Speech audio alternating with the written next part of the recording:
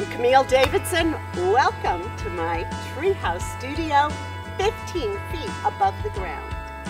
Come on up.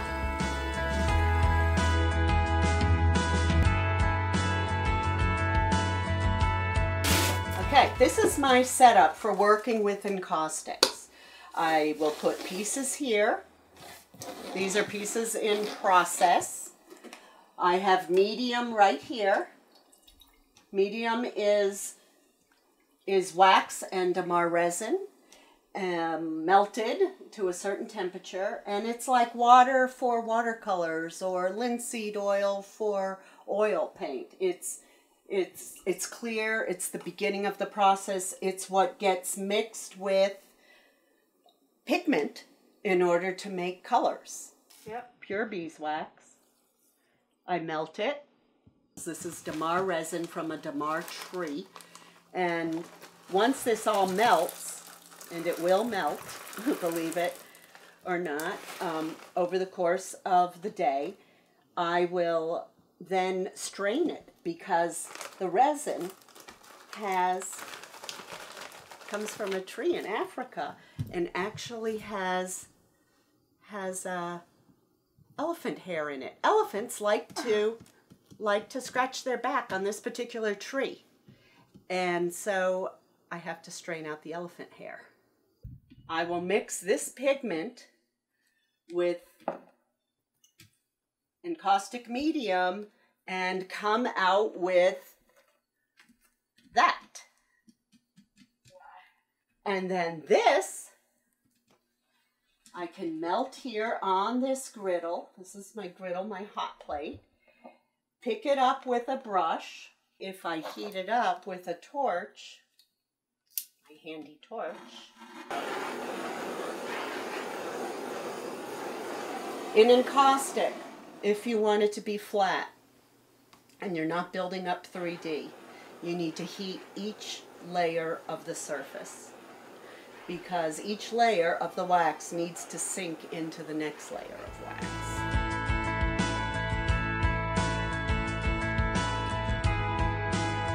So encaustic is an ancient, ancient medium. It goes back to uh, the ancient Egyptians. It goes back to 300 BCE. Uh, the most famous encaustic pieces are at the Metropolitan. They're called the Fayum paintings. A noble family would hire a painter to paint their portrait on bark. And then when they died, that painting would be cut out and put on their sarcophagus and has lasted until now. They're in the Metropolitan Museum. Artists are now using it in all sorts of ways from 3D pieces to um, large sculptural pieces and 2D, obviously. I found uh, encaustic to be a way that I could work with layers. I'm interested in light. I'm interested in layering and veils. And about 12 years ago, I found encaustic to be the medium of my choice. It, it also smells good when you're working with it.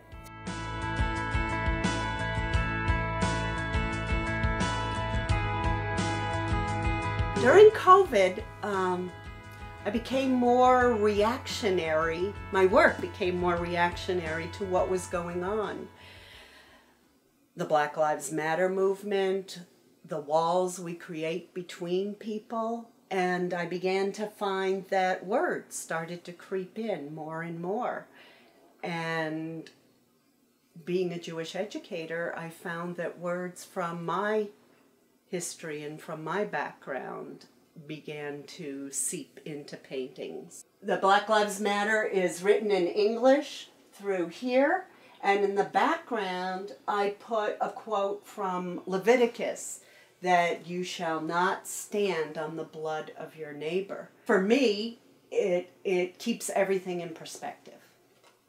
And so words and ink and uh, pieces of Bible pieces of Torah um, began to creep into work. And I think I want to go with that a little bit more.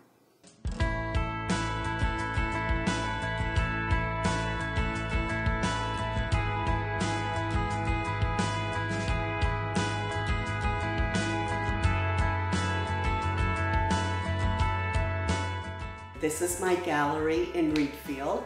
The gallery is a work of love.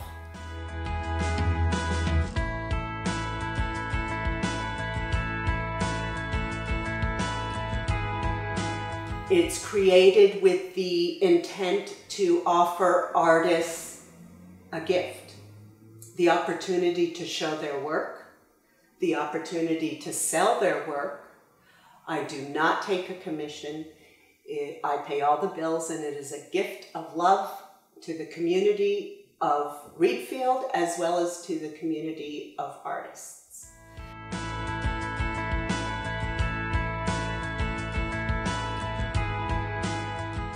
This specific work is uh, intended to go to a show called Walls that will be held next summer because it was postponed from this summer at the Holocaust Human Rights Center.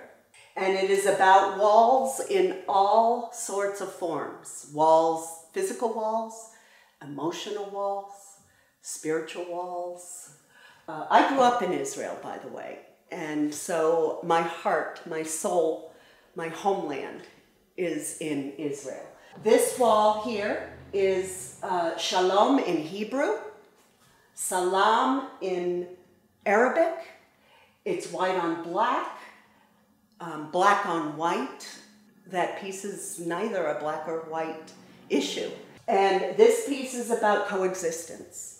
It's in black and white for the same reason that this is in black and white, that it's not a black and white issue.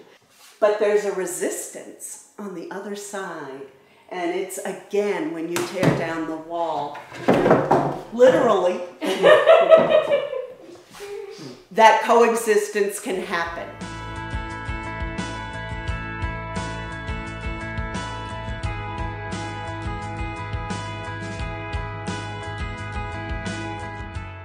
It's a time in my life where I can do this, and I feel very grateful and very blessed that I can um, that I can do this at this point.